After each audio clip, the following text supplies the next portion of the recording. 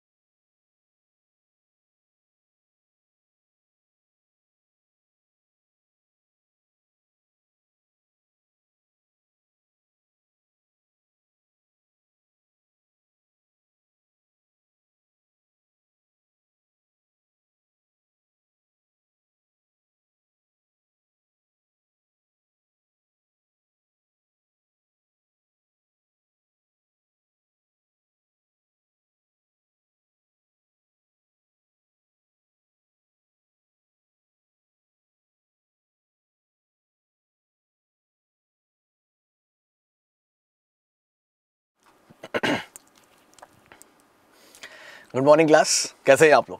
और मैं आपका एजुकेटर अभित मिश्रा आपके साथ और बात करने वाले हैं अपने करंट अफेयर्स की। कैसे हैं आप लोग? कैसी आपकी तैयारी चल रही है? चलिए, शुरुआत करते हैं अपने एक मोटिवेशनल कोट के साथ। आशा करते हैं कि आप मोटिवेट ज़रूर होंगे। तो कंप्यूटर जी, बच्चों के लिए मोटिवेशन कोट लगाया जाए। Result happen overnight not result happen over time not overnight work hard stay consistent and be patient तैयारी का मतलब होता है कि आप जो चीज़ चाहते हैं, अगर अगर हमें, हम जो चीज़ चाहें, वो हमें मिल जाए तो उसमें मज़ा नहीं है। थोड़ा सा स्ट्रगल तो ज़रूरी है थोड़ी सी टेंशन तो ज़रूरी है, और कहा गया है ना, जब किसी चीज़ को पूरी शिद्दत से चाहो तो सारी कायनात मिल जाती है उससे तुमसे मिलाने के लिए। ये मैं नहीं कहता, ये हमारे नितिन सर कहते हैं, जो इंग्लिश के फैकल्टी हैं। तो कहने का मतलब ये है कि यार, देखो प्रॉब्लम्स आएँगी और प्रॉब्लम्स को ओवरकम करना है प्रॉब्लम्स को अपने ऊपर हावी नहीं होने देना है। और इन सब प्रॉब्लम के बाद जब तुम आगे बढ़ते हो ना, तुम्हारे अंदर जो भी पोटेंशियल है, वो निखर के सामने आता है। तुम्हारे एफर्ट्स तुम्हारी हर चीज़ निखरती है। तो बात को समझिए, ये चीज़ें हैं, ये आपको रॉक स्टार्स बनाती हैं। ये प्रॉब्लम्स आपको रॉक स्टार्स बनाती हैं। कंसिस्टेंट कंसिस्टेंट रहिए पॉजिटिव रहिए, हमेशा पॉजिटिव सोचिए पॉजिटिव लोगों से बात करिए और सिलेक्शन को लेकर एकदम फोकस रहिए। आपका सिलेक्शन ज़रूर होगा। कहते हैं ना कि ऊपर वाला भी इतना बुरा नहीं है। अगर आपने सच्चे दिल से मेहनत की है तो ज़रूर आपको कामयाबी मिलेगी। चलिए, शुरुआत करते हैं आज के अपने सेशन की और क्या क्या हमको पढ़ना है हम उसकी बात करेंगे। तो नेक्स्ट स्लाइड में हम बात करने वाले हैं अपने इंडेक्स की। तो इंडेक्सेस में जो भी चीज़ें हैं, देखिए यहाँ पर वो आपको पढ़ाया जाएगा। मर्जर एंड एक्विजिशन से लेकर इंटरनेशनल अफेयर्स तक, ये सारी बात हम कवर करने वाले हैं। तो होप कि आप आज से पॉजिटिव रहेंगे, पॉजिटिव सोचेंगे और अच्छा काम करेंगे, अपना नाम रोशन करेंगे। शुरुआत करते हैं आज के अपने पहले पॉइंट से और हम बात करते हैं मर्जर एक्विजिशन से। देखिए, स्विगी स्विगी आप लोग जानते होंगे, अगर आप लोग बाहर रहते हैं घर से तो आप खाने वाने भी मंगाते होंगे स्विगी से। तो स्विगी ने बेंगलुरु की एक कंपनी है, जिसका नाम है एक्वी है तो स्विगी स्विगी ने क्या किया? स्विगी ने क्विंट किंट को के आई एन टी यहाँ पे नाम है। स्विगी एक्वी हायर किंट ये एक्वी हायर का मतलब क्या होता है? आज तक हमने मर्जर सुना एक्विजिशन सुना। What is the meaning of acquihire तो एक्वी हायर का मतलब होता है, मान लीजिए कि आपकी कोई कंपनी है, मेरी कोई कंपनी है। मैंने क्या किया? मैंने आपकी कंपनी को एक्वायर किया, लेकिन मैंने आपके प्रोडक्ट और सर्विस को एक्वायर नहीं किया। मैंने आपके स्टाफ को, आपके टैलेंट को एक्वायर किया, इसे एक्वी हायर बोलते हैं। ठीक है? तो किंट के बारे में बात करें तो किंट एक ऐसी कंपनी है जिसके वीडियोज़ होते हैं। मतलब समझिएगा, ये काम कैसे करते हैं? अगर आप कोई वीडियोस देखते हैं तो उसमें बहुत सारे प्रोडक्ट और प्रोडक्ट होते हैं। जैसे आप मुझे देख रहे हो तो मेरे पास क्या पड़ा है? लैपटॉप पड़ा है मोबाइल पड़ा है। तो ये जो किंट कंपनी है, इसका स्पेशलाइजेशन है कि ये वीडियो में से प्रोडक्ट को वॉच करती है और प्रोडक्ट के स्पेसिफिकेशन आपको बता देगी। आइए बात करते हैं अगर पॉइंट यहाँ पर पढ़ना है हमको, देखिए। तो हम बात कर रहे हैं स्विगी की। Swiggy acquihired a Bangalore based artificial intelligence startup Kint तो किंट को इसने क्या किया है? हायर कर लिया है, कोई हायर कर लिया है और जो अमाउंट है, उसे अभी घोषित नहीं किया तो मैंने क्या बोला था? एक्टिव हायर का मतलब होता है कि आप दूसरे कंपनी के टैलेंट को हायर करते हैं। देखिए यहाँ पर next point the founding member of Kint इनका नाम है जगन्नाथ और पवित्रा। ये क्या है? ये स्विगी टीम को ज्वाइन करेंगी। मैंने वही बोला था कि टैलेंट को हायर करना, ना कि उनके प्रोडक्ट को, उनके सर्विस को या उनके इंफ्रास्ट्रक्चर को हायर करना, ठीक है? तो ये एक नया वर्ड है। ये काम आएगा आपके इंग्लिश में भी, ठीक है? देखिए। आगे बात करें तो किंट के बारे में बात करें, किंट को 2014 में बनाया गया था और इसका स्पेशलाइजेशन है। ये किसी भी वीडियोस में से ऑब्जेक्ट को रिकॉग्नाइज कर लेता है। तो ये इनका काम होता है, ठीक है? तो ये पॉइंट हमने यहाँ पर आपको बता दिया। आई होप कि आप ये सारी बातें समझ गए होंगे, ठीक है? चलिए आगे बढ़ते हैं और बात करते हैं स्विगी के बारे में कुछ इन्फॉर्मेशन तो स्विगी क्या है? एक ऑनलाइन फ़ूड ऑर्डरिंग कंपनी है। आप ऑनलाइन खाना इससे मंगा सकते हैं, ठीक? इसे 2014 में फाउंड किया गया था। इसके फाउंडर्स के नाम यहाँ पर दिए हैं तीन लोग हैं। नंदन रेड्डी हैं, श्री हर्षा माजेटी हैं और राहुल जैमिनी है। देखिए, ये नाम साथ में है, ठीक है? हेडक्वार्टर बैंगलोर इंडिया में ही है। हम बात करते हैं स्विगी की। तो आई होप कि पहला पॉइंट आपको क्लियर हो गया होगा जो हमने आपको बताया है। देखिए, यहाँ पर एक्वी हायर की डेफिनेशन दी हुई है और एक्वी हायर की डेफिनेशन का मतलब क्या है?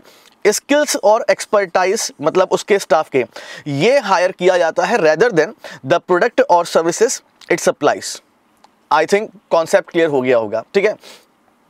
अदर मर्जर की बात करते हैं, इस बार और कौन कौन से मर्जर हमारे सामने हमें देखने को मिले? तो ग्रुप फाइनेंस जो है, ये मर्ज हो गया बंधन बैंक के साथ, ये मैं आपको ऑलरेडी पढ़ा चुका हूँ। उसके बाद, देखिए इंडिया की third largest software service exporter Wipro Wipro ने यूएस बेस्ड एलाइट सॉल्यूशन को एक्वायर किया था, ये इन्फॉर्मेशन देख लीजिए। तो दो पॉइंट की बात हमने यहाँ पर की आपसे। आगे बढ़ते हैं। आरबीएल बैंक ने मुंबई बेस्ड स्वाधार फिनसर्व को एक्वायर किया था, ठीक? और इन्फोसिस की बात करें तो इन्फोसिस ने यूएस बेस्ड वुंग डूडी को एक्वायर किया था। ये कुछ इन्फॉर्मेशन है। मतलब आपको हम रिवीजन करा रहे हैं कि किस, इस साल क्या क्या मर्जर आपको देखने को मिले हैं बड़े, जो आपके एग्ज़ाम के लिए काफ़ी इंपॉर्टेंट है, ठीक? तो ये पॉइंट हमने कर लिया। आगे होप आपको क्लियर होगा। हम आगे बढ़ेंगे और बात करेंगे आज के अपने दूसरे पॉइंट पर।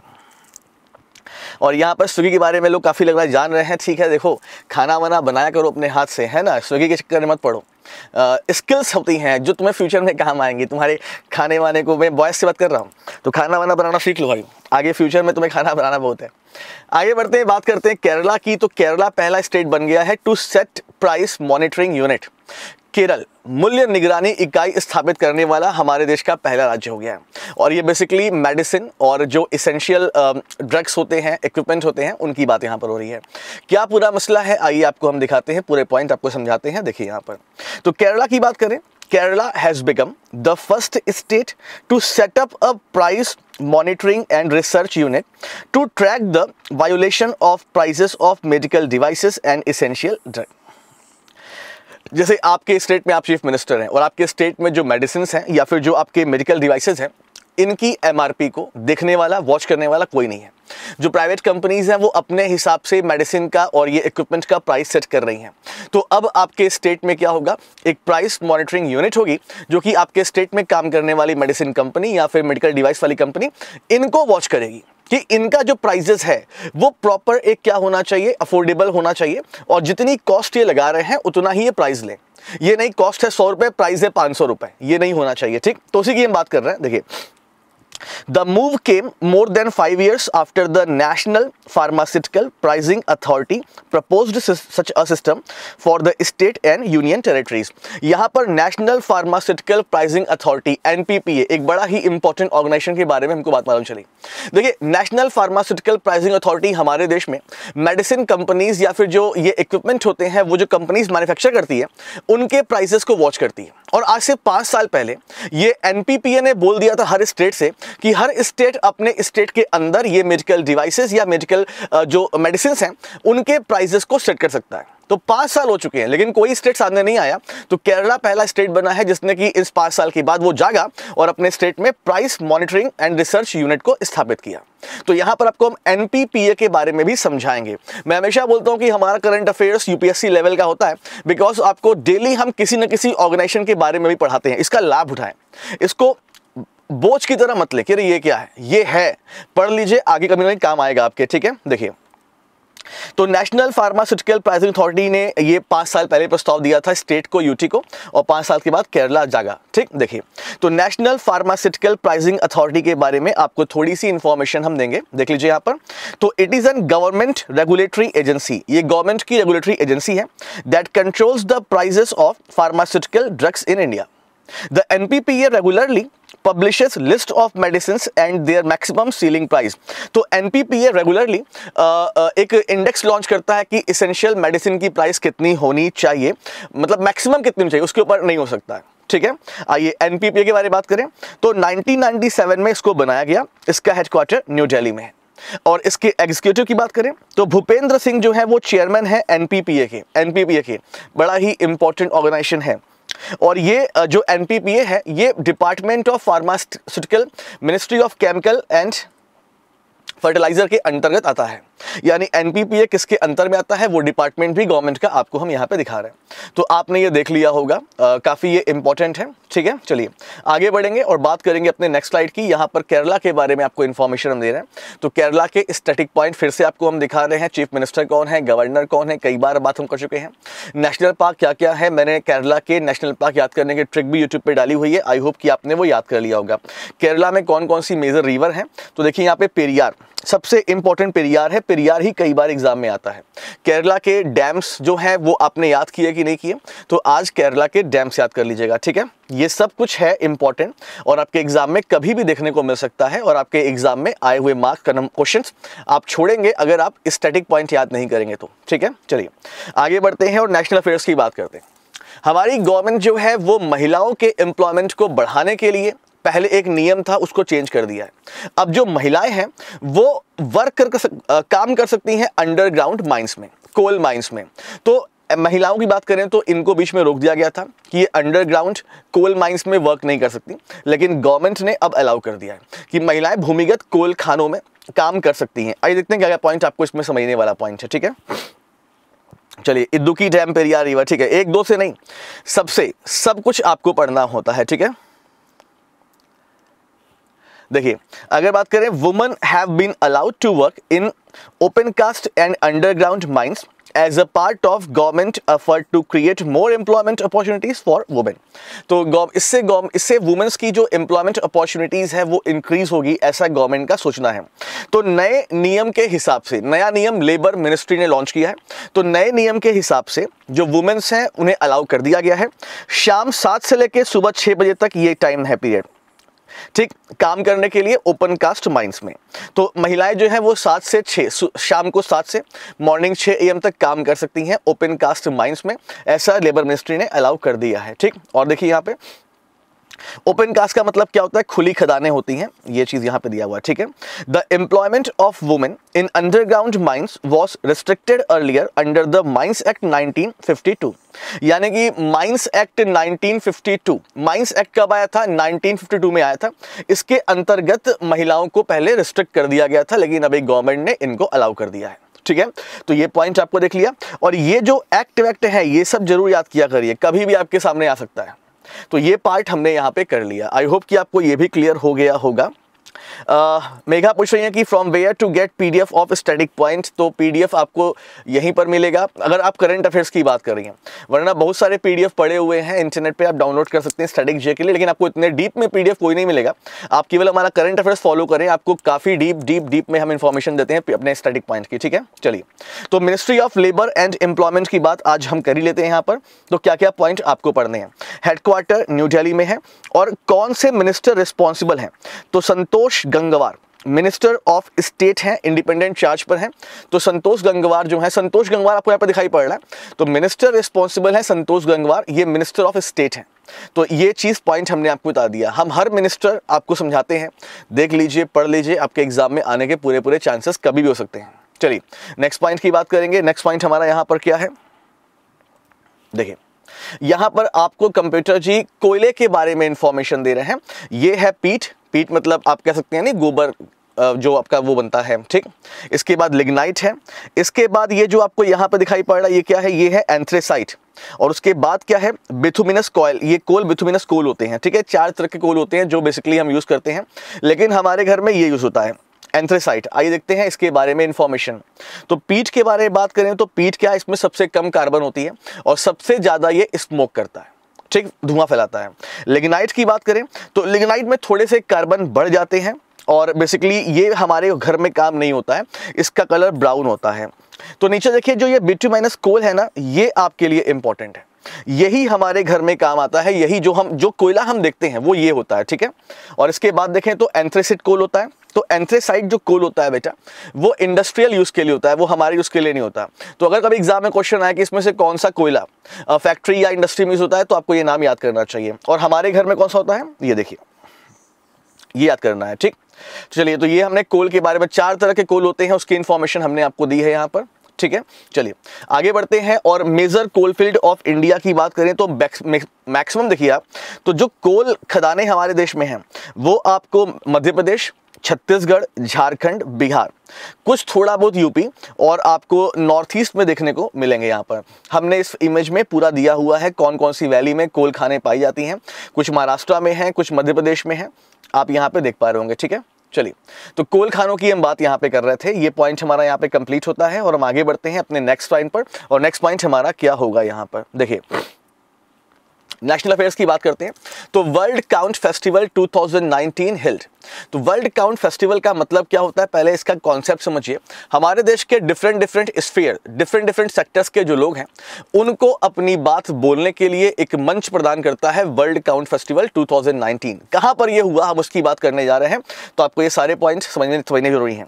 तो वर्ल्ड काउंट फेस्टिवल की बात करें तो ये पुणे में हुआ, महाराष्ट्र में on third February world count festival कहाँ पर हुआ? पुणे में, महाराष्ट्र में। पहला पॉइंट नेक्स्ट पॉइंट की बात करें तो ये वही बात बोली गई है कि मतलब कि अलग अलग सेक्टर से लोगों को एक मौका देना कि वो आकर अपनी बात करें। और यहाँ पर बात होती है किस चीज़ की? राष्ट्र निर्माण की। यहाँ पर बात होती है धर्मनिरपेक्षता की। ये दो पॉइंट को ही देख, सोचकर आपको बोलना होता है, ठीक है? तो इसको, ये सेकंड एडिशन था। और ये जो वर्ल्ड काउंट फेस्टिवल है, ये किसकी देन है, उसकी बात कर लें।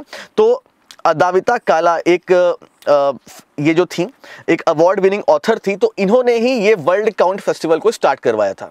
तो वर्ल्ड काउंट फेस्टिवल कहाँ पर हुआ? पुणे में हुआ। लोगों को मौका दिया जाता है यहाँ पर बोलने का। और आगे बात करते हैं, ये सेकंड एडिशन था। सेकंड एडिशन था। आगे बात करते हैं। देखते हैं कुछ पॉइंट और भी है क्या? हमें समझने के लिए। देखिए। It featured talk that cover issue such as secularism nation building etcetera तो वो मैं आपको पहले बोल चुका हूँ कि किन किन मुद्दों पर यहाँ पर बोला जाता है। तो यहाँ पे बोला जाता है धर्म निरपेक्षता के लिए और नेशनल बिल्डिंग के लिए मतलब राष्ट्र निर्माण के लिए। आप भी जाइए, आपको ये मौका मिलना चाहिए यहाँ बोलने का, है ना? चलिए। तो ये वेरी गुड बहुत बढ़िया। यहाँ अश्विनी तिवारी बोल रहे हैं धर्मनिरपेक्षता भाजपा सरकार में। चलिए। पॉलिटिशियन मत बनो, पढ़ाई करो तुम, है ना? चलो नेक्स्ट पॉइंट की बात करते हैं। महाराष्ट्र की बात करते हैं। कल भी हमने आपको महाराष्ट्र के स्टडिक पॉइंट समझाए थे, और आज भी आपको हम महाराष्ट्र के स्टडिक पॉइंट समझा रहे हैं। कल मैंने आपको महाराष्ट्र के फेस्टिवल और महाराष्ट्र के कुछ सिटीज़ के निकनेम पूछे थे। जरा मुझे बताइए ऑरेंज सिटी किसे बोलते हैं? कमेंट में बताइएगा, ठीक है? तो ये महाराष्ट्र के पूरे आपके स्टडिक पॉइंट हैं chief minister governor capital state language और आई होप कि आपने इसके नेशनल पार्क वार्क सब कंप्लीट कर लिए होंगे। महाराष्ट्र में कौन कौन से डैम्स हैं, वो भी आपने कंप्लीट कर लिए होंगे। है ना? चलिए। आगे बढ़ते हैं और बात करते हैं नेक्स्ट पॉइंट की यहाँ पर। नेक्स्ट पॉइंट अरे, कोई बात नहीं, कोई बात नहीं, कोई बात नहीं। ये भाई हमारे देश में एक चीज़ और भी है ना, अभिव्यक्ति की आज़ादी। आप लोग करते रहते हैं अभिव्यक्ति की आज़ादी। यूट्यूब पर कोई भी पढ़ा रहा है, भाई पसंद नहीं आए, छोड़ दो ना उसे। अब मैंने देखा है मेरे साथ तो ऐसा कम होता है, लेकिन और भी देखा है मैंने और फैकल्टीज़ या चैनल में, कि कुछ आप नेगेटिव कमेंट करते हैं। अरे, क्या फ़ायदा है नेगेटिव कमेंट करने से? आपको पसंद आए, पढ़िए, नहीं पसंद आए, छोड़िए। अब वहाँ पर ज़बरदस्ती आपको अपनी भावनाएँ व्यक्त करने का क्या मतलब है कि आपने फालतू वो टीचर पढ़ा रहा है, मेहनत कर रहा है, उसके पीछे कंटेंट का मेहनत देखिए, वो मेहनत नहीं देख रहे हैं और पता नहीं क्यों एक गाली वाली देने वाली चीज़ हो जाती है। समझ में नहीं आता, क्या मतलब है? अब सिंपल सी बात है, हम लोग भी हैं ना मतलब मिर्ज़ापुर के तो अब सामने सामने बात हो तो कुछ और बात हो। अब सौ किलोमीटर 500 किलोमीटर दूर बैठ के गाली देने से मतलब ही नहीं होता, टीचर का मोरल डाउन होता है, वो इतनी मेहनत कर रहा है, ये कर रहा है। ये सब करना नहीं चाहिए अगर मैं होता स्टूडेंट मैं मैं आज भी अपने गुरुओं की काफ़ी इज़्ज़त करता हूँ। ये सब नहीं करना चाहिए, मेरे हिसाब से। और मैंने किसी को बोल नहीं रहा हूँ, मैं बता रहा हूँ एक बार। अब list of important festival of state की बात करें तो देखिए यहाँ पे मध्य प्रदेश, महाराष्ट्र, मेघालय। तो इन स्टेट के जो अपने अपने फेस्टिवल हैं इंपॉर्टेंट फेस्टिवल है मतलब ये स्टैटिक पॉइंट है। ये आपको यहाँ पर हमने दिए हैं, मध्य प्रदेश, महाराष्ट्र, मेघालय, मणिपुर, मिजोरम। यानी एम अल्फ़ाबेट के स्टेट के फेस्टिवल आपको यहाँ पर हम दिखा रहे हैं, ठीक है? देखिए यहाँ पर। तो वो पॉइंट आप देख लीजिएगा हमारे पीडीएफ से, यहाँ पर टॉक्सिक और नोमोफोबिया फिर से आपको हम रिवाइज करा रहे हैं। तो टॉक्सिक जो है, ये ऑक्सफोर्ड डिक्शनरी का वर्ल्ड ऑफ़ द ईयर है और नोमोफोबिया ये कैम्ब्रिज डिक्शनरी का वर्ल्ड ऑफ़ द ईयर है, लेकिन ये दोनों ईयर कौन से हैं? 2018 के हैं, जो आप यहाँ पे बोल रहे हैं। ठीक है? चलिए नीतू बेटा ये एक बार रिफ्रेश कर लो तो आपको साथ में मिल जाएगी पूरी वीडियो पीछे है थोड़ा सा, ठीक है? चलिए, आगे बढ़ते हैं, बात करते हैं नेक्स्ट पॉइंट की यहाँ पर और यहाँ पर बिज़नेस और इकोनॉमी की बात करेंगे। बिज़नेस और इकोनॉमी आपने फिच का नाम सुना होगा। फिच एक इंटरनेशनल रेटिंग एजेंसीज है जो कि रेटिंग करती है कंट्रीज़ की, कि कंट्री को क्या होने वाला है। और फिच ने बोला है कि जो हमारे देश का राजकोषीय घाटा है, वो और गिरेगा। आपको पता है ना, इस बार के बजट में हमारी गवर्नमेंट ने फ़िज़िकल डेफिसिट 3.4 परसेंट टारगेट किया है। लेकिन फिच का कहना यह है कि भारत सरकार का जो फ़िज़िकल डेफिसिट है, वो 2019-20 फाइनेंशियल ईयर में 3.6 परसेंट तक हो सकता है। इन्होंने बोला है कि एक्चुअली चुनाव है और चुनाव की वजह से बीजेपी गवर्नमेंट ने काफ़ी बड़ा बजट पेश किया है। यानी गवर्नमेंट ने अपना टोटल एक्सपेंडिचर काफ़ी ज़्यादा बढ़ा दिया है। इतनी इनकम नहीं आएगी। एक्सपेंडिचर ज़्यादा करना है। इनकम आनी नहीं है तो फ़िज़िकल डेफिसिट 3.6 परसेंट हो सकता है। तो ये पॉइंट आपको हम समझा रहे हैं। देखिए आगे क्या क्या पॉइंट आपको समझना है। देखिए। Fitch Solution, an arm of Fitch Group, has projected the government fiscal deficit is slipped to 3.6% of GDP. जो मैं आपको बता रहा था। गवर्नमेंट ने इस साल के बजट में 3.4 परसेंट टारगेट किया है, लेकिन फिच कहना है कि 3.6 से हो सकता है, क्योंकि इन्होंने क्या बोला है कि जो इस बार का बजट है तो जनरल इलेक्शंस होने हैं, इसकी वजह से गवर्नमेंट ने काफ़ी लोक लुभावने वादे किए हैं। तो गवर्नमेंट को इसके लिए बहुत पैसे खर्च करने पड़ेंगे और इनकम इतनी गवर्नमेंट की नहीं आएगी, ये कहना है इनका, ठीक है? तो ये मैंने आपको बता दिया। आगे बढ़ते हैं नेक्स्ट पॉइंट पर। देखिए, वो वही पॉइंट है जो मैं आपसे बोल रहा था। देखिए The central government is planning to spend a total of rupees 27.8 lakh crore in physical 2019-20 physical मतलब फाइनेंशियल तो 2019-20 के फाइनेंशियल ईयर में गवर्नमेंट का प्लान है 27.8 लाख करोड़ रुपीस खर्च करने का, जो काफ़ी बड़ा अमाउंट है। वह, वही बोल रहा हूँ, उतनी इनकम फिच के हिसाब से नहीं आने वाली है। अच्छा इस बार के बजट में गवर्नमेंट ने टारगेट किया था 3.4 परसेंट ऑफ़ जीडीपी जो मैं आपको कब से बोल रहा हूँ। तो सारी बात आपको क्लियर हो गई होगी। ठीक है? चलिए। तो इतना पॉइंट आपको मैंने समझा दिया क्या इसका मतलब होता है, वो भी शायद कॉन्सेप्ट आपका क्लियर हो रहा होगा। हम आगे बढ़ेंगे और बात करेंगे नेक्स्ट पॉइंट की। नेक्स्ट पॉइंट हमारा क्या है, ये देखिए। तो फिच के बारे में आपको इन्फॉर्मेशन थोड़ी सी हम दे दें, हम पहले भी दे चुके हैं, हम आज भी दे रहे हैं आपको। तो फिच रेटिंग की बात करें तो ये पूरे वर्ल्ड की big three credit rating agencies में से एक है। पूरे वर्ल्ड की तीन बड़ी रेटिंग एजेंसी में से एक है मतलब एक तो फिच है, दूसरी और तीसरी कौन है? तो दूसरी है मुडीज और तीसरी है स्टैंडर्ड एंड पुअर्स तो ये तीन बड़ी कंपनी है वर्ल्ड लेवल पे, जो कि देशों पर रिसर्च करती हैं, ठीक है? देखिए तो it is one of three nationally recognised statistical rating organisation ये देखिए यहाँ पे फुल फॉर्म ठीक?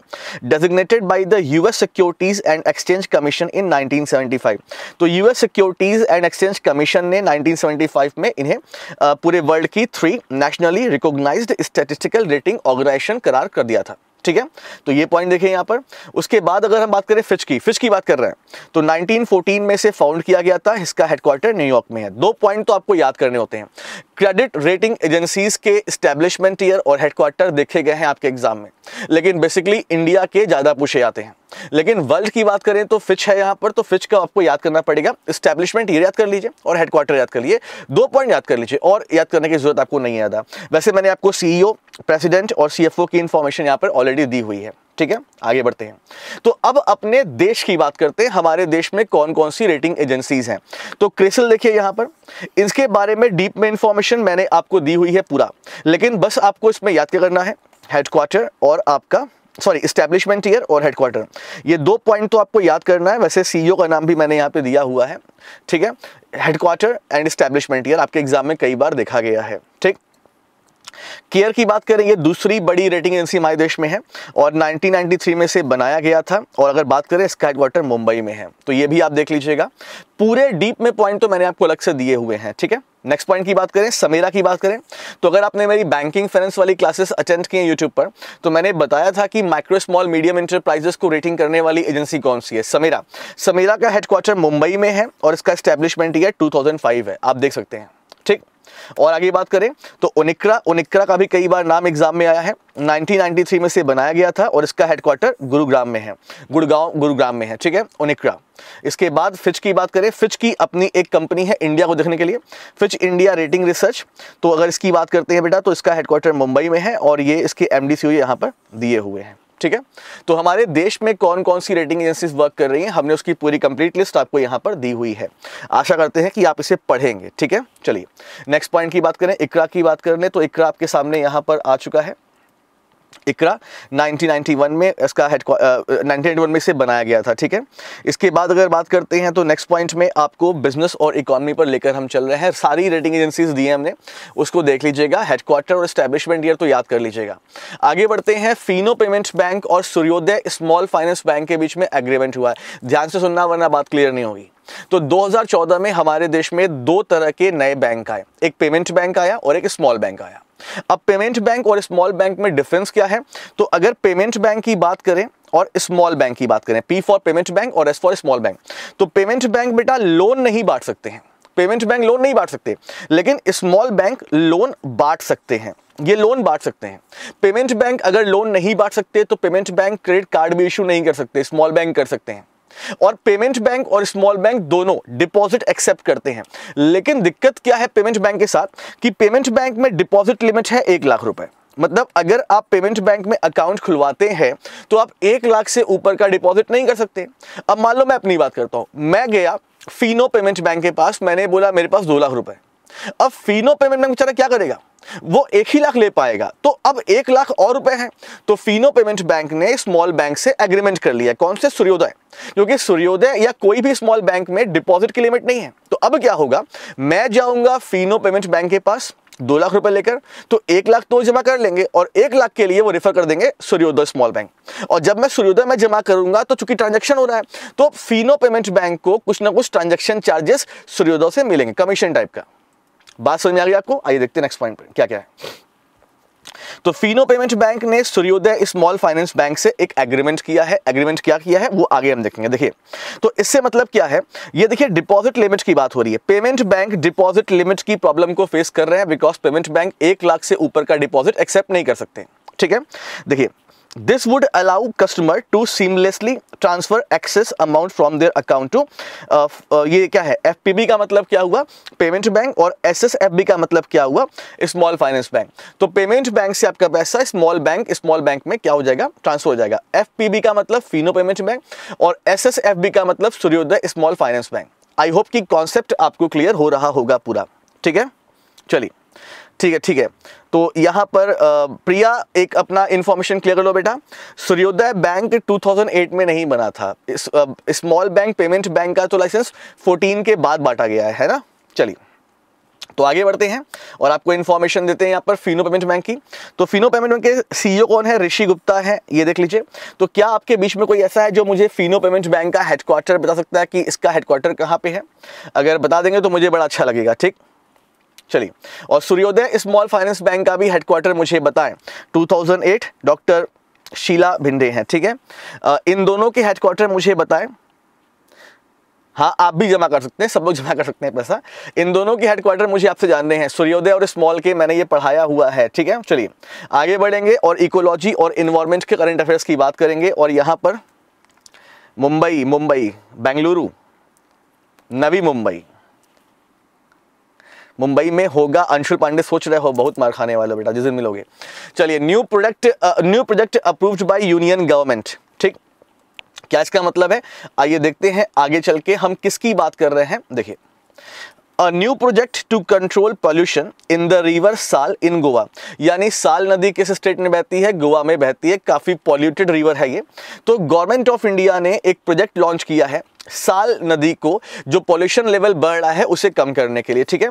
और देखिए sanction by the union government ये पॉइंट यहाँ पे लिखा हुआ है। कहाँ पर लॉन्च होगा? गोवा में लॉन्च होगा, ठीक? गोवा में साल नदी बहती है मतलब ये इन्फॉर्मेशन आपको हम दे रहे हैं। The project will have will have a cost of rupees sixty crore rupees मतलब टोटल कॉस्ट इतना है और इसमें सेंट्रल गवर्नमेंट और स्टेट गवर्नमेंट के बीच में 60 एंड 40 का रेशियो खर्च करने का होगा। मतलब कि 61.74 करोड़ में 60 परसेंट सेंट्रल गवर्नमेंट पे करेगी और 40 परसेंट स्टेट गवर्नमेंट पे करेगी। साल रिवर कहाँ पे है? गोवा में है। उसकी इंफॉर्मेशन आपको हम दे रहे हैं। पॉल्यूशन कंट्रोल करने वाली बात हो रही है, ठीक है? चलिए आगे बढ़ते हैं। लेट मत हुआ करो टाइम पे आया करो। चलो यहाँ पे, चलो। आगे बढ़ते हैं नेक्स्ट पॉइंट की बात करते हैं। नेक्स्ट पॉइंट हमारा यहाँ पर क्या होने वाला है? देखिए। ये भावनाओं को समझने वाली बात है कि यह नदी में प्रदूषण को काफ़ी कम कर देगा और पानी की गुणवत्ता में सुधार करेगा। याद करने वाला पॉइंट तो नहीं है ये। चलिए। गोवा के स्टडी पॉइंट आपको यहाँ पे दिखाए जा रहे हैं। चीफ मिनिस्टर कौन है? मनोहर पर्रिकर गवर्नर मृदुला सिन्हा है। कैपिटल पंजी स्टेट लैंग्वेज कोंकणी है? भगवान महावीर नेशनल पार्क गोवा का बड़ा ही इंपॉर्टेंट नेशनल पार्क है। गोवा का इंटरनेशनल एयरपोर्ट जो है, उससे हम क्या बोलते हैं? डबोलिम इंटरनेशनल एयरपोर्ट ये मैंने बताया भी था आपको। ठीक? मेजर रिवर क्या है? देख लीजिए यहाँ पे मांडवी रवि पर अभी एक सेतु बना था, पुल बना था, यादों का कुछ आपको बच्चे हैं आप लोग, मुझे पता है, आप लोग भूल जाते होंगे, लेकिन एग्ज़ाम में तो करना ही पड़ेगा परफॉर्मेंस है ना? चलिए, अब यहाँ पर आपको हम area wise top ten smallest state या यूटी उसकी हम बात कर रहे हैं। तो सबसे कम एरिया है लक्षद्वीप का, आप देख सकते हैं हमारे देश में 32 किलोमीटर स्क्वायर का। उसके बाद दमन दीव 112 किलोमीटर स्क्वायर उसके बाद Chandigarh 114 kilometre square Pondicherry, Dadra and Nagar Haveli, Delhi, Goa, Sikkim, Andaman and Nicobar and Tripura. Tripura 10486 kilometre पर स्क्वायर तो ये इंफॉर्मेशन आपको दी है, यहाँ पर यूटी लिखा, यहाँ पर यूटी भी लिख दे रहा हूँ मैं। तो एरिया वाइज अगर हम बात करें तो आपके सामने एक लिस्ट है, इसे आप देख सकते हैं। अटल सेतु, ठीक है?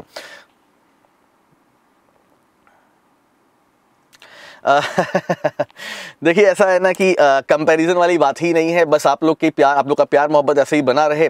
आप लोग ऐसे ही हँसते रहें, खिलखिलाते रहें, हमारा यही ऑब्जेक्टिव है, ठीक है? चलिए, आगे बढ़ते हैं नेक्स्ट पॉइंट की बात करते हैं स्पोर्ट्स की बात करेंगे यहाँ पर। स्पोर्ट्स की बात करेंगे, रमित टंडन की बात कर रहे हैं तो रमित टंडन एक स्क्वैश प्लेयर है। जब पहली बार मैं कॉलेज में गया था और स्क्वैश का नाम सुना स्क्वैश ऑडिटोरियम में गया तो हम लोग यार गाँव गाँव के लड़के हैं, हम लोगों ने गिल्ली डंडा खेला है क्रिकेट खेला, ये सब खेला है। स्क्वैश जानते ही नहीं थे। तो तो हमारे दोस्तों ने कहा कि स्क्वैश खेलने चलते हैं। तो मुझे मालूम नहीं क्या होता है स्क्वैश मैं पहली बार गया तो मुझे बहुत शर्म आई। हालाँकि थोड़ा बहुत खेला वेला, वो भाई, वो फीलिंग ही अलग थी। देखिए, यहाँ पे तो रमित टंडन की बात कर रहे हैं। इन्होंने सेटल सीटल ओपन जीता है स्क्वैश में। आइए देखते हैं नेक्स्ट पॉइंट की बात करते हैं क्या पॉइंट आपको है। ठीक है, देखिए। तो Ramit Tandon won the final of the Seattle open Seattle open squash event by defeating Egyptian Mohamed El Sherbini on second February 2019 तो ये इन्फॉर्मेशन हमने आपको दे दी। आगे बढ़ते हैं और बात करते हैं नेक्स्ट पॉइंट की। नेक्स्ट पॉइंट हमारा क्या है यहाँ पर? देखिए this is the fourth overall title in his career and first PSA PSA means professional squash association title in 2019 उसकी इन्फॉर्मेशन आपको हम दे रहे हैं यहाँ पर, ठीक है? तो ये क्या है? हम रमित टंडन की बात कर रहे हैं। इनका चौथा इंटरनेशनल ये जीता इन्होंने इवेंट जीता। और 2019 में इनका पहला प्रोफेशनल स्क्वैश एसोसिएशन है। तो किसको हराया? तो मिस्र के मोहम्मद अल शर्बिनी को हराया है इन्होंने और सिटिल ओपन जीता है इन्होंने, ठीक है? तो ये इन्फॉर्मेशन आपको हमने दे दी है। फिफ्टी एट रैंक अभी इनकी पूरे ऑल ओवर वर्ल्ड में है। ये भी इन्फॉर्मेशन आपके सामने है, ठीक है? चलिए। तो इस बार ऑस्ट्रेलियन ओपन को आपको रिवाइज करा देते हैं। सिंगल मेल और फीमेल में किसने जीता? मिक्स डबल किसने जीता? डबल्स बात करें तो मेंस में और वुमेंस में किसने जीता? तो उसकी इन्फॉर्मेशन हमने आपको यहाँ पर दी है। करा चुके हैं आपको, एक बार देख लीजिएगा। अगर आप भूल चुके हैं तो रिवाइज कर लीजिएगा। ऑस्ट्रेलियन ओपन 2019 की बात कर रहे हैं। पहला इवेंट बड़ा इवेंट टेनिस का 2019 का। ये इन्फॉर्मेशन आपके सामने है। चलिए, आगे बढ़ते हैं, बात करते हैं अपॉइंटमेंट एंड रिजाइन की। तो पीवी भारती, ये इन्फॉर्मेशन आपको बहुत पहले भी दे चुके थे। तो पीवी भारती है, ये न्यू एमडी और सीईओ बनी है कॉर्पोरेशन बैंक की। आपको ये पता है, ये हम पहले भी पढ़ चुके हैं। तो फाइनली इन्होंने सीट संभाल ली है। देखिए यहाँ पर। तो P V Bharathi has taken the charge as the MD and CEO of the corporation bank clear corporation bank ठीक है? इसके पहले ये एग्जीक्यूटिव डायरेक्टर थी कैनरा बैंक में, लेकिन अब ये एमडी सीईओ बन गई कॉरपोरेशन बैंक की, और मेरे ख्याल से जो बच्चे मुझे फॉलो कर रहे हैं, उन्हें ये याद होगा। हम पहले ही पढ़ चुके हैं ये सब चीज़। ठीक है? चलिए आगे बढ़ते हैं नेक्स्ट पॉइंट की बात करते हैं। तो ये किसके लिए रिस्पॉन्सिबल थी? वो पॉइंट भावनाओं को समझने वाली बात है कि ये आपको नहीं पढ़ना है, ठीक है? चलिए, आगे बढ़ते हुए आपको एक्स्ट्रा इन्फॉर्मेशन हम दे रहे हैं। तो list of PSU bank and their head तो इस बार मतलब मतलब कि जो भी हमारे देश के सरकारी बैंक हैं, उनके नाम यहाँ पे दिए हैं और उनके हेड यहाँ पे दिए हैं, ठीक है? तो ये इन्फॉर्मेशन याद कर लीजिएगा, ठीक है? आगे बढ़ते हैं। ये देखिए यहाँ पर, यहाँ पे नंबरिंग में थोड़ा सा चेंज है, वो इन्फॉर्मेशन ठीक? नंबरिंग थोड़ी सी गड़बड़ है यहाँ पे, ठीक है? तो ये देख लीजिएगा आप लोग, चलिए। और आगे बढ़ेंगे और आपको नेक्स्ट स्लाइड पे लेकर चलेंगे। यहाँ पर यूनिप्रो की बात कर रहे हैं। यूनिप्रो एक कंपनी है यूनिप्रो यूनिप्रो ने एजीस ग्राहम बेल पुरस्कार जीता। एजीस ग्राहम बेल पुरस्कार। सबसे पहला क्वेश्चन कि ये पुरस्कार कहाँ पर हुआ? ये इवेंट कहाँ पर हुआ? और ये यूनिप्रो एक सॉफ्टवेयर कंपनी है तो इसने ये क्यों अवार्ड जीती हम उसकी बात यहाँ पे कर रहे हैं। नेक्स्ट पॉइंट आपके सामने। तो यूनिप्रो की बात करें। Unipro has announce the winner of the Aegis Graham Bell award to क्यों? क्योंकि इन्होंने एयूमिना एयूमिना नाम की एक डिवाइस लॉन्च की है। एयूमिना कैसे वर्क करता है, समझना। ये एक वॉइस वॉइस रिकॉग्निशन डिवाइस है। मतलब क्या होता है कि जैसे मैं आपसे बात करूँ और आप मेरा फीडबैक दो तो जो आप मेरे बारे में बोलोगे ना तो ये जो एयूमिना है, ये आपके वॉइस में उतार चढ़ाव, या आपकी आवाज़, आपका खुशी, आपका गम सब कुछ ट्रेस कर लेता है। और उसके हिसाब से एक स्टेटिस्टिकल डाटा देता है कंपनी को। फॉर एग्ज़ाम्पल मैं बात करता हूँ, आप लोग मान लीजिए मेरे क्या हो टेलीकॉलर हो, मैं कंपनी का मालिक हूँ। तो अगर मुझे ये पता करना हो कि आपके अंदर प्रोफिशियंसी कितनी है, आपकी कम्युनिकेशन स्किल कितनी अच्छी है तो मैं ये सॉफ्टवेयर से ये मालूम कर लूँगा कि आप कितने नॉलेजबल हो। आप कस्टमर से कैसे डील कर रहे हो और क्या क्या आपके अंदर नॉलेज है? तो पूरा डेटा एयूमिना से मालूम चल जाता है। तो ये यूनिप्रो सॉफ्टवेयर कंपनी जो है, ये एयूमिना को बनाई थी। इसीलिए इनको ये अवार्ड मिला है आपके सामने। और ये इवेंट पंजी गोवा में हुआ था। नाइन्थ एडिशन था ये। नाइन्थ एडिशन ये भी देख लीजिए। तो नाइन्थ एडिशन था इस प्राइस का। किसने जीता? कहाँ पर हुआ? ये सारी इंफॉर्मेशन हमने आपको दे दी है। और आई होप कि आप ये कॉन्सेप्ट समझ गए होंगे पूरा। नेक्स्ट स्लाइड की बात करते हैं यहाँ पर, देखिए। तो तो एजीज ग्राहम बेल जो है, ये प्रॉपर एंटरप्रेन्योरशिप को और इनोवेशंस को अवार्ड देता है। मतलब कि जो नए लोग हैं एंटरप्रेन्योर हैं इनोवेटर्स हैं, उनको करेज करना अवार्ड देकर ये इसका ऑब्जेक्टिव है। आप समझ जाएँगे, ठीक है? चलिए आगे बढ़ते हैं। तो इस साल 2019 की बात करें तो इस साल जो भी परमवीर चक्र बांटा गया या फिर महावीर चक्र बांटा गया, उसकी इन्फॉर्मेशन हमने आपको दी है, वीर चक्र बांटा गया। तो ये आप देख लीजिएगा। ठीक है, इसके बाद अशोक चक्र की बात कर रहे हैं, कीर्ति चक्र की बात कर रहे हैं और सौर्य चक्र की बात कर रहे हैं, ठीक है? ये सब आपको जो बांटा गया 19 में, ये इन्फॉर्मेशन हमने आपको दे दी है, ये देख लीजिएगा आराम से। ठीक? आइए एग्रीमेंट और एमओयू की बात करते हैं यहाँ पर और यहाँ पर हम बात कर रहे हैं इंडिया और पोलैंड के बीच में एक एग्रीमेंट साइन हुआ। MoU sign between India and Poland क्या क्या एग्रीमेंट में है? आइए देखते हैं नेक्स्ट स्लाइड पर यहाँ पर। तो ministry of coal India and ministry of energy Poland इनके बीच में एग्रीमेंट साइन हुआ है। The MoU will provide the opportunities to both nation to augment trade and investment in energy and mining sector तो एनर्जी और mining sector में मतलब कि इंडिया पोलैंड के और पोलैंड इंडिया के एनर्जी और माइनिंग सेक्टर में इन्वेस्टमेंट करेगा। और नई टेक्नोलॉजी को ये दोनों देश इंक्रीज करेंगे एनर्जी और माइनिंग सेक्टर में। ये पॉइंट है। तो ministry of coal India and ministry of energy Poland के बीच में एग्रीमेंट साइन हुआ है। ये इन्फॉर्मेशन आपको यहाँ पर हम दे रहे हैं। पोलैंड की बात करें तो पोलैंड यूरोप में कहाँ पड़ता है? ये आपको इंफॉर्मेशन हमने दे दी है। और अगर आगे बात करें तो पोलैंड के कैपिटल वार्सा करेंसी जलोटी ये सब आपको याद करना ज़रूरी है। काफ़ी ज़रूरी है, जो भी देश आपको यहाँ पर दिखते हैं, उन सारे देश के आप याद कर लिया करिए, फटाक से कैपिटल एंड करेंसी काफ़ी आपके लिए ज़रूरी याद करना बेटा, आपके एग्ज़ाम के पॉइंट ऑफ़ व्यू से, ठीक है? चलिए आगे बढ़ते हैं जुआन गाइडो की बात करते हैं। वेनेजुएला के राष्ट्रपति ये बन चुके हैं। अगर आपने मेरा वेनेजुएला वाला वीडियो नहीं देखा होगा, देख लीजिए फिर से एक बार, ठीक है? देखिए Denmark, Sweden, Austria, France, Spain, Britain. इन्होंने जुआन ग्वेडे को प्रेसिडेंट ऑफ़ वेनेजुएला रिकॉग्नाइज कर लिया है। एग्जैक्टली exactly में अगर आपने मेरा वीडियो देखा होगा तो मैंने आपसे बोला था कि जिस दिन जुआन ग्वेडियो आए सामने, उसी दिन यूरोपियन यूनियन ने क्या किया था? इन्होंने निकोलस मादुरो को, जो कि अभी प्रेसिडेंट हैं, वेनेजुएला के, को एट डे का अल्टीमेटम दिया था। और ये आठ दिन खत्म हो चुके हैं, देखिए यहाँ पे। और यूरोपियन यूनियन ने इन्हें रिकॉग्नाइज कर दिया है एज अ प्रेसिडेंट आपको ये पता होगा, अगर आपने मेरा ये वीडियो देखा होगा तो पूरा कॉन्सेप्ट क्लियर होगा आपको, ठीक है? नेक्स्ट पॉइंट की बात करते हैं वेनेजुएला कहाँ पर एग्जिस्ट करता है, ये मैंने आपको दिखाया था उस वीडियो में। इसके बगल में कोलंबिया है गुयाना है ब्राज़ील है, ये सब मैं बता चुका हूँ तो वो वीडियो देखिए ज़रूर, ठीक है? चलिए तो वेनेजुएला की बात करें, कैपिटल कारकस है, करेंसी बोलीवर है, ये दो बातें आपको ध्यान देनी है। तो जुआन गेडियो और निकोलस मादुरो, ये दोनों प्रेसिडेंट हैं, लेकिन ये दोनों पार्शली रिकॉग्नाइज्ड हैं, है ना? ये काफ़ी बढ़िया टॉपिक है। चलिए, आगे बढ़ते हैं। तो यूरोपियन यूनियन के बारे में आपको इन्फॉर्मेशन दे रहे हैं European Union capital Brussels currency euro और इसके बाद प्रेसिडेंट पार्लियामेंट कमीशन, सब कुछ इन्फॉर्मेशन हमने आपको दी हो, याद कर लीजिएगा, ठीक है? दोस्तों, आगे बढ़ते हैं नेक्स्ट पॉइंट की बात करेंगे हम लोग। नेक्स्ट पॉइंट यहाँ पर यूरोपियन यूनियन को इमेज के फॉर्म में समझाया है। कितने देश हैं कौन कौन से देश हैं, यहाँ पर आप देख सकते हैं, ठीक है? चलिए। इंटरनेशनल अफेयर्स की बात करेंगे, सुरेश प्रभु की बात करते हैं। तो सुरेश प्रभु जो हैं, इन्होंने इंडिया मोनाको फोरम को संबोधित किया। मतलब क्या है इस पॉइंट का? आइए देखते हैं नेक्स्ट स्लाइड पर आपको इन्फॉर्मेशन देने की कोशिश करते हैं। तो सुरेश प्रभु जो कि union minister of civil aviation and commerce and industry हैं, इन्होंने इंडिया मोनाको बिज़नेस फोरम जो कि डेली में हुआ, उसको एड्रेस किया। इंडिया मोनाको बिज़नेस फोरम कहाँ पर हुआ? न्यू दिल्ली में हुआ। किसने एड्रेस किया? मिस्टर सुरेश प्रभु ने किया। मिस्टर सुरेश प्रभु के पास कौन सी मिनिस्ट्री है? ये सारे पॉइंट्स आपको इस तरह से याद करने हैं, ठीक है?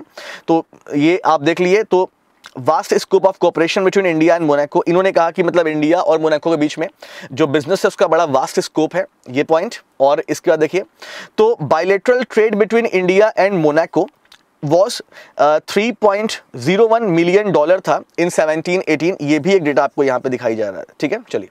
तो नेक्स्ट पॉइंट की बात करते हैं यहाँ पे मोनाको तो मोनाको की बात करें तो मोनाको जो है, इसकी कैपिटल है मोनाको सिटी और करेंसी है यूरो आप ये दो चीज़ देख लेंगे, ठीक है? चलिए आगे बढ़ के नेक्स्ट पॉइंट की बात करते हैं। और यहाँ पे मिनिस्ट्री ऑफ़ सिविल एविएशन की बात करें तो डिप्टी मिनिस्टर कौन है? जयंत सिन्हा है, कल भी हमने आपको ये बताया था। और राजीव नयन जो है, वो एविएशन सेक्रेटरी हैं सिविल एविएशन सेक्रेटरी हैं, ये भी इंफॉर्मेशन आपको हम यहाँ पे दे रहे हैं। चलिए आगे बढ़ते हुए नेक्स्ट पॉइंट की बात करेंगे, बड़ा ही ऐतिहासिक दौरा। तो अगर हम बात करते हैं पोप की तो पोप फ्रांसिस जो है, वो यूएई गया पहली बार ऐसा हुआ कि कोई पोप यूएई मतलब अरब देशों में गया। उसकी इंफॉर्मेशन आपको हम दे रहे हैं यहाँ पर। तो Pope Francis made his historic visit to UAE on fourth February ठीक। Francis attend an inter religious meeting and held mass at Zayed sport city तो जायद स्पोर्ट सिटी में इन्होंने भीड़ को संबोधित किया और इन्होंने एक अंतर धार्मिक बैठक में हिस्सा भी लिया। काफ़ी बड़ी बात है। ये अपने आप में बहुत बड़ी बात है और ये मिडिल ईस्ट और यूरोपियन कंट्रीज़ के बीच में जो चला आ रहा है, एक धर्म युद्ध है, उसे ख़त्म करने के लिए एक पहला कदम है। ये मैं मानता हूँ। आगे देखिए क्या होता है, क्या नहीं होता, वो नहीं मालूम। ठीक है? तो pro Francis became the first pontiff pontiff का मतलब बिशप ही होता है टू विज़िट अरेबियन गल्फ ये देख लीजिए। और his visit to UAE has highlighted religious freedom अब क्या क्या आगे होता है वो नहीं मालूम। देखिए। तो यूए की बात करते हैं तो यूए की कैपिटल अबू धाबी है और करेंसी क्या है? दिरहम है। खलीफा बिन जायद अल नहानियान यहाँ के प्रेसिडेंट हैं, आपको ये पता है। उसके बाद हम आगे बढ़ेंगे इंटरनेशनल अफेयर्स की बात करेंगे। तो meeting of Indian meeting of Indian Ocean Rim Association कहाँ पर हुआ? दिल्ली में हुआ। तो इंडियन ओशियन रिम एसोसिएशन की बात करें तो 22 मेंबर कंट्री हैं इसके और इनकी मीटिंग कहाँ पर हुई है? हुई है दिल्ली में। डिजास्टर मैनेजमेंट के लिए। डिजास्टर मैनेजमेंट के लिए और ये होम मिनिस्टर्स की मीटिंग थी। आइए देखते हैं क्या क्या पॉइंट यहाँ पर है। Meeting of Indian Ocean Rim Association will be organized by Ministry of Home Affairs, Ministry of Home Affairs and National Disaster Management Authority तो पहले तो आपको कॉन्सेप्ट याद रखना है कि ये जो इंडियन रिम एसोसिएशन की मीटिंग थी, ये डिजास्टर मैनेजमेंट को लेके लेके थी और ये होम मिनिस्टर की मीटिंग थी। इसीलिए Ministry of Home Affairs and National Disaster Management Authority ने इसको इवेंट को ऑर्गेनाइज किया। ठीक है? The aim is to help strengthen cooperation in disaster response देख लीजिए यहाँ पर, जो मैं बोल रहा था, ये मिनिस्ट्री ऑफ़ होम अफेयर्स ये चीज़ आपको हमने बता दी। ठीक है, आइए आगे बढ़ते हैं और यहाँ पर देखिए आपको इंडियन ओशियन रिम एसोसिएशन के मेंबर कंट्रीज़ आपको हम दिखा रहे हैं। ये आप देख सकते हैं। तो इंडियन ओशियन रिम एसोसिएशन के कितने मेंबर कंट्री हैं तो देख ले, आपको हम दिखाते हैं यहाँ पर। तो 22 मेंबर स्टेट है स्टेट का मतलब कंट्री हो गया। और ये सारे कंट्रीज़ के नाम यहाँ पर दिए हुए हैं, ठीक है? इसका हेडक्वार्टर मॉरिशस में है, पहली बात ये आपको याद रखनी है, ठीक है? चलिए तो आगे बढ़ते हैं और एमसीक्यू शुरू करते हैं। आज का पहला एमसीक्यू आपके सामने यहाँ पर है, देखिए। ये आपका पहला एमसीक्यू पहला क्वेश्चन आंसर देना आपको। तो prime minister Narendra Modi let the foundation stone for construction of new terminal building of the KBR airport तो where it is it located तो याद करिए, कल ही मैंने आपको पढ़ाया था आंसर क्या होगा इसका? इसका आंसर होगा ले ले मतलब क्या हो गया? जम्मू कश्मीर। तो ले इज़ राइट आंसर ठीक? चलिए आगे बढ़ते हैं नेक्स्ट पॉइंट की बात करेंगे। ये कल की करंट अफेयर्स का ये है न्यूज़ मतलब आज जो आप पढ़ेंगे, वो कल आपको हम रिवाइज कराएँगे एमसीक्यू के फॉर्म में। आइए नेक्स्ट पॉइंट की बात करेंगे। तो निम्न में से कौन सा सूरजकुंड मेले का विषय वस्तु राज्य है? सूरजकुंड मेला कहाँ पर हुआ था? फरीदाबाद कहाँ पड़ता है? हरियाणा पड़ता है? कल मैंने महाराष्ट्र बोल दिया था। तो क्या इसका आंसर होगा? वो आपको बताना है कौन इसका थीम स्टेट था। थर्टी थर्ड एडिशन था ये। And right answer is Maharashtra Maharashtra is right answer चलिए let's move to our next question and our next question is किसे कोलंबिया गणराज्य में भारत का नया राजदूत अपॉइंट किया गया who? Has been appointed as India's new ambassador to the Republic of Colombia what is the right answer and the right answer is Sanjeev Ranjan Sanjeev Ranjan is right answer आइए आगे बढ़ते हैं, बात करते हैं अपने नेक्स्ट क्वेश्चन की our next question Bharat के पर्यटन क्षेत्र में ने 2018 में कितने परसेंट से अधिक की वृद्धि की? India tourism sector has registered growth over तो आपको पता है 19 परसेंट, उन्नीस प्रतिशत की वृद्धि की है है ना? चलिए नेक्स्ट क्वेश्चन 4 फरवरी 2019 को किसे भारत में नेपाल का राजदूत अपॉइंट किया गया? तो who has been appointed as the Nepal's ambassador to India on fourth February? क्या इसका आंसर था? And the right answer is Nilamber Acharya आपको याद होगा सारा पॉइंट ठीक है? आइए नेक्स्ट क्वेश्चन की बात करते हैं। 4 फरवरी 2019 को कौन टी ट्वेंटी इंटरनेशनल मैच खेलने वाली पहली एशिया महिला क्रिकेटर बनी है? Who became the first Asian women cricketer to play hundred T twenty international matches as on four February what is the right answer and the right answer is Sana Mir Sana Mir is right answer Pakistan की है ये। Our next question 4 फरवरी 19 को किसके द्वारा राष्ट्रीय सड़क सुरक्षा सप्ताह का शुभारंभ किया गया? By whom, will the National Road Safety Week be launched on 4 February 2019 to generate awareness and sensitise people about safe road uses? And the right answer is Ministry of Road Transport and Highway. तो यही होना ही है, और कुछ हुआ नहीं। आइए, next question की बात करते हैं हम लोग। प्रो रेसलिंग लीग 2019 होगा जी यहाँ पर। तो प्रो रेसलिंग लीग 2019 के चौथे सत्र का खिताब किसने जीता? Who won the fourth edition of the Pro Wrestling League 2019 and the right answer is Haryana Hammers तो Haryana Hammers is right answer our next question how many aspirational district have been identified in the country by Niti Aayog to accelerate MSME development efforts in these districts. नीति आयोग द्वारा MSME विकास के प्रयासों में तेज़ी लाने के लिए देश में कितने संभावित जिलों की पहचान की गई है? And the right answer is 117 कल मैंने ये न्यूज़ आपको नहीं दी थी तो इसे याद कर लीजिएगा अच्छे से। 117 सिटीज़ ठीक है? आइए नेक्स्ट पॉइंट की बात करते हैं। Where is the second Asian India Youth Summit being organized from 3rd to 6 February? And the right answer is and the right answer is Guwahati, Assam. कल मैंने आपको पढ़ाया था ये पॉइंट ठीक है? आइए। नेक्स्ट क्वेश्चन की बात करते हैं our next question Which country announced a successful test of uh, of Howitz's cruise missile having a range of 1350 kilometre on second February ये मैंने आपको बताया था ये ईरान की क्रांति जो थी उसको उसको उसके जश्न मनाने के मौके पे लॉन्च किया गया ईरान इज़ राइट आंसर चलिए आइए नेक्स्ट क्वेश्चन की बात करते हैं हम लोग यहाँ पर। तो by whom was a special postage stamp on Kumbh Mela released on three जन फरवरी आपको मैंने ये भी पढ़ाया था। इस तरह क्वेश्चन भी आएँगे, मैंने ये भी बताया था।